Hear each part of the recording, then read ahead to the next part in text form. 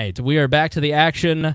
Uh, welcome back to We Are Libertarians, episode number 307. I'm Chris Spangle, and this is Harry Price. Harry, how are you? Going good, going good. If you haven't subscribed to our show, please do so now. Please be sure to uh, leave a rating and review while you're there. This segment is brought to you by the We Are Libertarians store at WeareLibertarians.com.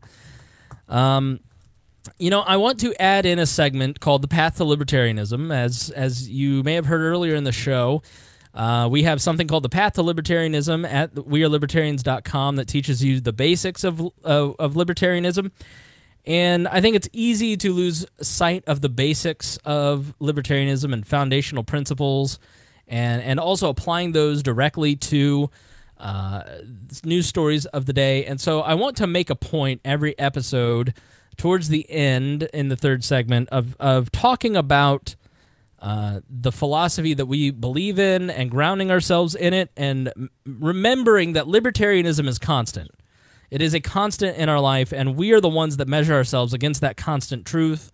And we are the ones that change, not the philosophy. I see so many people trying to adjust libertarianism to whatever they believe, mm-hmm. and that's just not how it works. So, you know, I was I was reading the news, and Gina Haspel, who is our CIA director currently, was running a secret black site in Thailand, and she was involved in torture. And it got me to thinking about the libertarian approach to torture. Now, I'm not talking about libertarian torture uh, which is basically liberty and chill, right? That's how dare you. I read people sit there and I yell at them voluntarily. No, uh, reading the comments on our Facebook page. Yes, uh, yes. On on the big page, yep. uh, go look at our Facebook page. That is libertarian torture. Um, but no, she is our CIA director. She is in charge of. Uh, for the, she's not your CIA director. Okay. Um, so, because of a, of a FOIA request, a Freedom of Information Act request, her cables were declassified eh, three months too late, outlining new details of torture perpetrated by the CIA and uh, Americans during the War on Terror. And Gina Haspel was in charge of a black site in Thailand. Harry, what is a black site? Black site. Other than your house. How dare you? Um, no, my site is not a black site or the uh, website that you have as your homepage on your browser. Um, a black site is basically one of those ABC agencies where things go in, things don't go out. No one, no, no one's supposed to know of the site. No one knows where it goes. Right. Yeah, it's it's black as in dark, as in there's nothing. You know, nothing. Nothing's happening here. So the these cables were released, and here what here's what was in the cables, according to the Independent, in a story titled "Torture of Terror Suspect at CIA Black Site Operated by Current Director Gina Haspel," detailed in newly declassified cables. They write the cables dating from 2002 detail actions taken against uh, suspect Abd al Rahim al Nazahiri uh, who, in one interrogation, according to the documents, had his clothes ripped from him as he whimpered that he would do anything his interrogators required. He was told if he did not cooperate, he would suffer in ways he never thought possible. Interrogation escalated, she writes, uh, rapidly from the subject being aggressively debriefed by interrogators while stand- standing at the walling wall to multiple applications of the walling technique and ultimately multiple applications of the watering technique, reads one document referring to the use of waterboarding. Another document, uh, and, and just so you, uh, in case you're not familiar, walling, uh, I put in here somewhere, because um, I didn't know what that was. Which is that when they put them on the wall? Walling is a method of torture used by the CIA in which a person's neck is encircled by a collar and the collar then used to slam the person against the wall. According to information gathered by the Red Cross from six detainees, walling meant beating by use of a collar in at least one instance against a concrete wall. Um, so uh, Al Nazahiri crawled into the small box which he in which he was confined after the torture session was completed. The questioners told the prisoner they did not believe he was telling the truth and threatened more action if he did not cooperate, though it appears they eventually concluded he was not withholding information. Um, if you read the cable, they talk about the when they did that, they walled him, they pushed him to the ground, they shaved all the hair off his head. Mm-hmm. They stripped him of his clothes. Then they put him in that box. Right. So They didn't just like put him in a box. this is the first time that we've seen any detailed information of what we saw in the Abu Ghraib pictures. Yeah. Uh, so it, it has been confirmed that she was in charge of the site and that she's suspected of writing the cables. Um, the archive with one outstanding question was whether Miss Haspel wrote cable uh, one cable from uh, December first, two thousand two, which used remarkably viv- vivid language to describe the torture sessions. Uh, the interrogator strode cat-like into the well-lit confines of the cell, deftly removed the subject's black hood with a swipe, paused, and in a deep, measured voice said that the subject, having calmed down after his staged run-in with his hulking, heavily muscled guards the previous day, should reve- reveal what subject had done to vex his guards to the point of rage.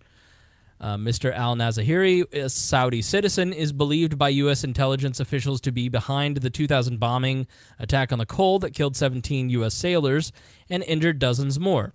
He has denied this. He was seized in 2002 and held for four years on various secret CIA prisons in Afghanistan, Thailand, Poland, Morocco, and um, Romania. He was transferred to the U.S. Uh, he was transferred to Guantanamo, where he was eventually brought before the Guantanamo Military Commission and charged with plotting the attack on the Cole. He faces the death penalty if convicted. It's 2006 when he was charged, and still waiting on his conviction. That's a long time ago, Harry. Yeah. Um, so, just so you know, waterboarding is a war crime, both under U.S. and international law, dating back to the U.S. prosecution of Japanese soldiers for torturing U.S. POWs during World War II. So, we pushed to have Japanese soldiers prosecuted for war crimes when they tortured us using waterboarding. And then all of a sudden, Dick Cheney says it's not waterboarding anymore, and we just deny that it is. And we put this person in charge of the CIA. Right. Yeah. And then you've got jackal heads here in the United States from them all the time like it's not waterboarding's not that bad. It's not that rough. Christopher Hitchens got waterboarded, one of the, the greatest liberals to ever live, and he was in favor of the Iraq War uh, and and those wars. He became kind of a hawk, uh, and he got waterboarded and basically said, "If this isn't torture, then I don't know what is." Uh, so I mean, he he was given the full treatment by former security agents. Uh, so he he considered it torture, and he was somebody that was sympathetic to the Bush administration during that period. So I think some of the central questions you have to ask yourself: if you support torture, what is your line? Right. Like, where do you draw the line? Uh, and and so if you're going to physically assault someone or sexually assault someone, even, where does that stop? Um, what's that line for you? At what age must a victim be before torture becomes acceptable?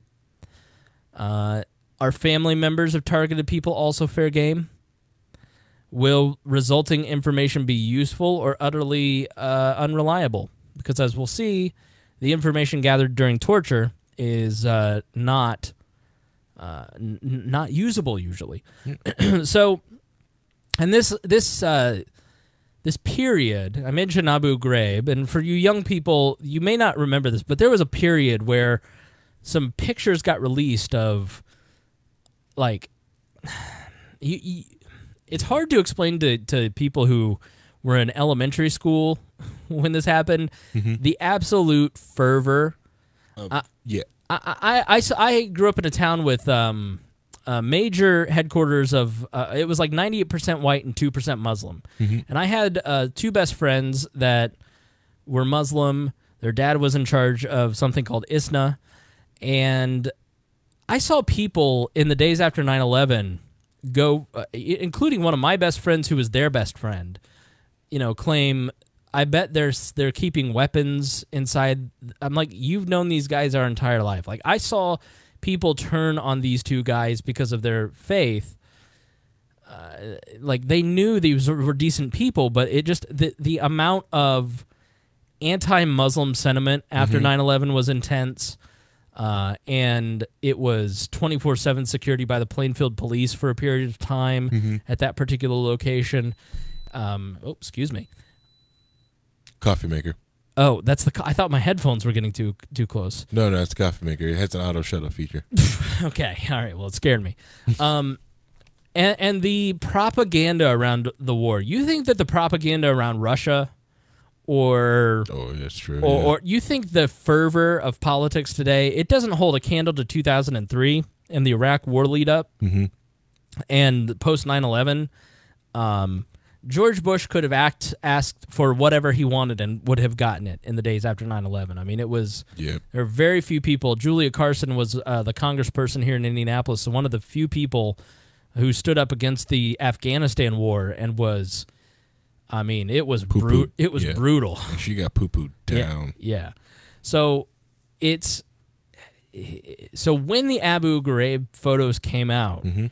it was oh, maybe all these anti-war people have had a point or Yeah. and oh, maybe we're going too far. And oh, wow, what's happening to us? Uh, here's why. So this comes from Counterpunch, a brief history of American torture. Um, the most notorious of these torture prisons was Abu Ghraib near Baghdad, Iraq, where prolonged vicious beatings, sexual humiliation, and death threats were common, and where men and at least one boy and allegedly numerous women were raped by their jailers. The jailers being American soldiers. As one former guard there quipped, You can't spell abuse without Abu. Abu Ghraib detainees were forced to sleep in flooded cells without mattresses, flooded with water, stripped naked and forced to crawl and bark like dogs, attacked with dogs, forced to curse Islam and eat pork and food from dirty toilets. Old men were dragged around by their hair, ridden like donkeys, and urinated on soldiers like Sergeant Charles Graner, who was fond of sodomizing innocent detainees with found objects. The Christian in me says it's wrong, Graner said of torturing prisoners, but the the corrections officer in me says I love making a grown man piss himself. And then there's the experimentation aspect of torture. Um, we paid two psychologists uh, eighty million dollars to run these black sites. Like they didn't have staffs; it was two guys. They got forty mil each to Oh, wow. to set up these programs. Uh, and as the the nation writes, the CIA just didn't torture; it experimented on human beings. The road from abstract hypotheticals to the authorized use of waterboarding and confinement boxes runs straight into the train of human experimentation. On April 15, 2002, Mitchell and Jessen arrived at the black site in Thailand to supervise the interrogation of Azu, Abu, Z- Abu Zubaydah. Uh, now, it's been rumored that she was there and helped torture Zubaydah, and that's not true. She was not. Uh, the first high value detainee captured by the CIA. By July, Mitchell proposed more coercive techniques to CIA headquarters, and many of these were approved in late July. From then on, until the program was dry docked in 2008, at least 38 people were subjected to psychological and physical torments, and the results were methodically documented and analyzed. That is the textbook definition of human experimentation. So, It's a black site. They can do what they want. right. They don't exist. It's all those things they use for like, oh, oh yeah, because yeah, because when the photos came out, it was always like these rumors of these black sites and what stuff was going on, and even now, like you see, like some some of these people that wasn't up there, you know, they just see them as photos of memes and stuff like that. But it's like, no, no, when those photos came out, that was, you know, it's It's tragic. bad. It was bad. So, what are what are the arguments against torture from a libertarian perspective? Uh, the first is the moral argument, and it was captured really well by Wendy McElroy from FEE in, a, in an article called "Libertarianism and Torture." Uh, and she writes Libertarianism declares that no moral or practical consideration outweighs the right of a peaceful individual to use his own body and property. When rights are breached, the accused is entitled to due process before remedies can justly be imposed, and those remedies must be proportional to the violation. Ultimately, however, I oppose torture not because I am a libertarian, but because I am a human being. Torture destroys everyone and everything decent it touches, including the torturer's humanity, i.e., the guy who's a Christian, but he loves to make a grown man piss himself. Right. Um, And so, if Abu Zubaydah or, or or Osama bin Laden or any of these people are captured, then they're to be put on trial. Yes. yes. They're they're Yeah. you're not you're According not to our rules, our laws, our Right. constitution. right. That's what's supposed to happen. Yeah. It's the idea of holding them into a black site and torturing them. It's just going to cause blowback. And what if they're innocent? Oh, that too. Yeah. Oh, yeah. Yeah. Well, the blowback's are going to happen. You know, doing it regardless whether they did it or not. But yeah, Right. especially if they're innocent, because you, you.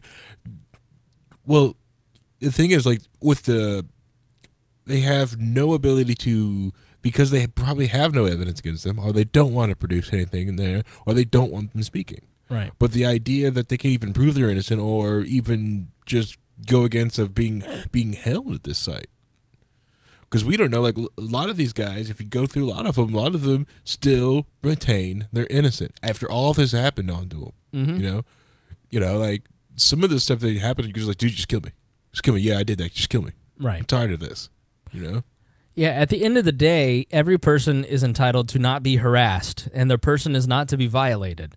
And if you have evidence, then you put them on trial, and if they are convicted after a after due process and after a trial of their peers, uh, then then you then you do with them what you will, and that doesn't include torture. That means you put them in prison. They lose their rights and their freedom by being put in a place where they don't have access to their full rights True. Yeah. but their person still should not be violated. Correct. That is a fundamental tenet of Americanism.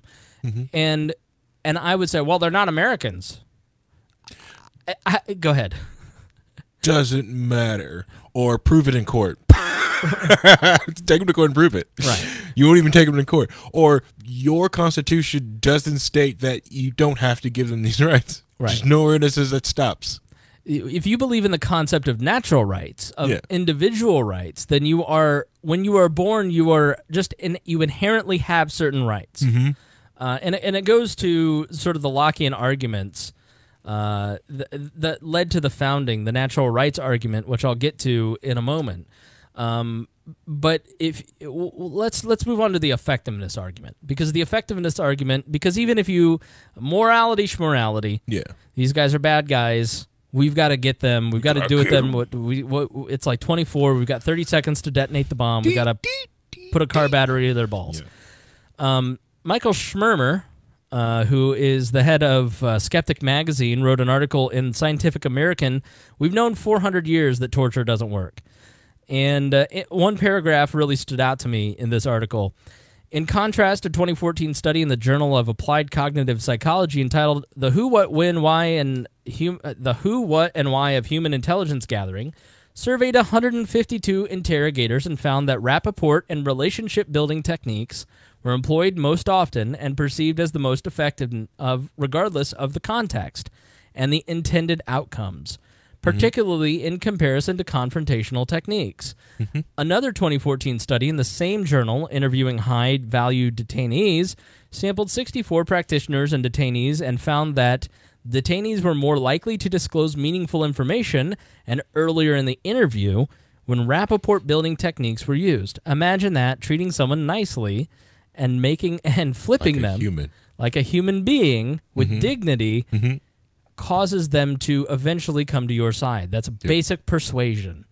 Yeah, it's like um, if you ever watch those like those true crime like true TV shows, and you see mm-hmm. that old detective, that police officer, and then when they get them, they sit there. They don't have anything. They don't have no case. They just know, but they have no evidence. Right. And they sit there and they spend the hours just talking to this guy. They eventually get him to one break down and just start confessing to everything. Right.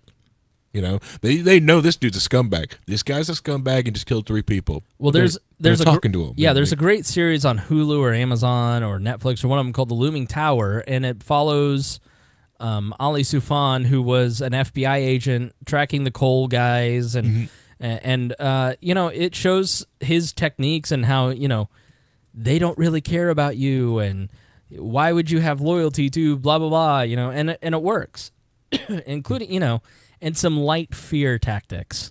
Yeah. but it's persuasion. It's not f- shoving a, a, a bottle up somebody's butt and can and thinking that that's going to make them give you all that does is make them hate you yeah. like Harry, if you hated me, are you are you more or less likely to give me what I want? Exactly. Yeah, you're not going to give me what I want. I have no reasoning that this is going to stop. Even if I give you everything you want, dude, you've already like broke the barrier, the touch barrier. Like I could give you what you want, and you seem to be enjoying this. Right. you know, so you know, I don't know if it's going to stop, you know, Yeah. just to give you what you want, you know, and even like some of that light torture stuff happens even here in the United States because some some districts just do it to get out of people. In So most cases, these are like young men who are very backwards emotionally, Mm-hmm. and the slightest amount of vulnerability and empathy makes them open up, and pops them like a can of you know tinned Yeah. biscuits. Well, that's the other thing. You hear a lot of Navy SEALs talk about that when they capture these guys. Like, well, these guys are cowards. All right, if they're cowards, then why do you need to do all this stuff and threaten them and do all this if they're such cowards? Right. They cower at the end, but it's a threat to them. Then, you know, then why do you need to do this? So there's a 459 page report by the uh, Senate Intelligence uh, Senate Select Committee on Intelligence uh, in 2014, and just the abstract was like 200 or was like 500 pages. So the actual report I don't think has been released. Just the 459 pages of of the initial findings. So there's a lot there, um, and they the documents related to torture of terrorism suspects concluded that the CIA's use of enhanced interrogation techniques, see torture, was not effective means of acquiring intelligence or gaining cooperation from detainees. It adds that multiple CIA detainees fabricated information, resulting in faulty intelligence. So Yeah. Um, That's. Yeah, that's the other thing. Is like someone's going to give you whatever the heck you want, just to make it stop. right. And the other thing is like you see how long they've got these people. Even if they did have names, dates, or stuff like that, or what they believe, or what something like that. As long as you've had them, all their intel is garbage. Right. You know. Now you're just doing it for pleasure. You found this guy for four years. Yeah, all his intel is dirt. All his intel is dirt. So what? He could let's say he has all the passwords and all the sites, but they, they're Well- done now.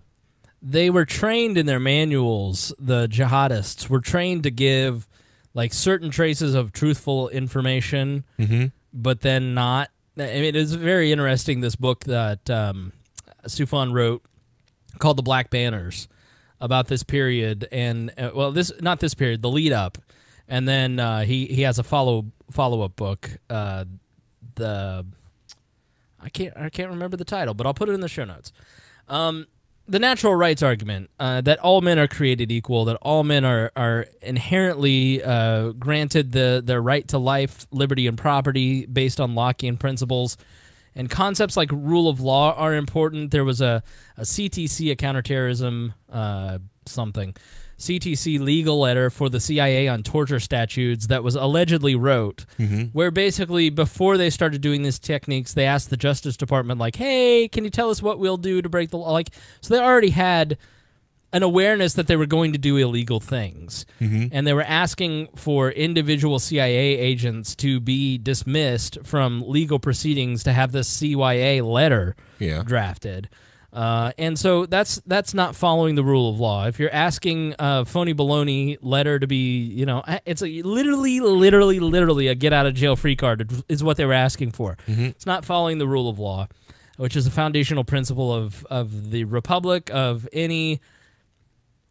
Unless it's pure anarcho-capitalism, if you've got a little bit of force centralized in a government, you got to have rule of law, where the rules are written down and everybody follows them equally and they're equally applied um, and opposing tyranny. Obviously, any, we oppose any tyranny, and I think when you read that passage about Abu Ghraib, that's tyrannical behavior. Yes. So, Yep.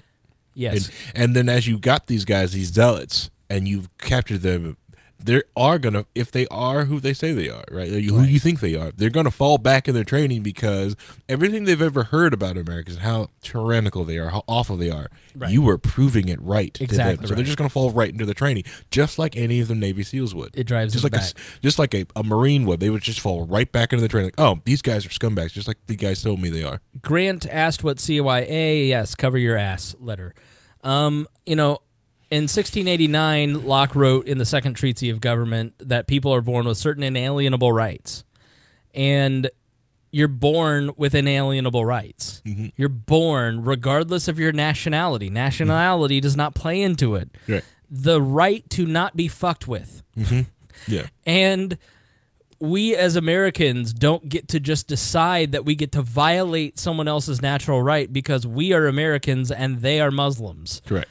Because we were born on the landmass known as the United States. That's right. the magic line. It's it's it's just not how it works. Right. Um, you can't take them away. A government cannot erase these rights. And you know, among these, uh, you know, uh, so so the Constitutional Rights Foundation, which had a, a nice little ditty on some of this, Locke believed that the most basic human law of nature is the preservation of mankind. To serve that purpose, he reasoned, individuals have both a right and a duty to preserve their own lives. Murderers, however, forfeit their right to life since they act outside the law of reason. Locke also argued that individuals should be free to make choices about how to conduct their own lives as long as they do not interfere with the liberty of others. Locke therefore believed liberty should be far reaching. Uh, and so going back to the murderers part, yes, they forfeit their rights if the evidence is compiled and it goes through a trial and a jury finds them to be guilty. Correct. And that is what is so fundamentally egregious about Gitmo, and that someone like the, uh, the the first guy that we talked about is still in Gitmo. 2006 was when his trial was, and he's still not been uh, charged. So uh, he's been charged, but he's not had a trial. So obviously, seriously messed up. Oh, yeah. So, uh, all right, time to move on. Um, Harry, you know what? It's snowing in here. It's not snowing in here. Feels like it should be. I'm hot. I'm very hot. I could use a fan. And you know where I should buy a fan at, Harry? Where? Amazon.com. Uh, everyone loves to shop at Amazon. We love Amazon, and most of our studio was purchased on Amazon. So when you shop there, go to wearelibertarians.com and click our link before you make a purchase. We've already made 50 cents, Harry. Woohoo! Thanks, Christy. Uh, or Jason. I just assume. Without costing you a dime, Amazon will give We Are Libertarians a commission, and we've already made 50 cents, as I said. Uh, Yay. I'm going to redo my Amazon Prime order for the week, so we'll see what all goes through. All right, do it. So when you need to get that new infant circumcision trainer for $192 because you don't believe in genital mutilation, get it through our link at wearelibertarians.com or update your bookmark with it so you never forget. And while you're there, take a look at our Amazon wish list to help offset the cost of new equipment.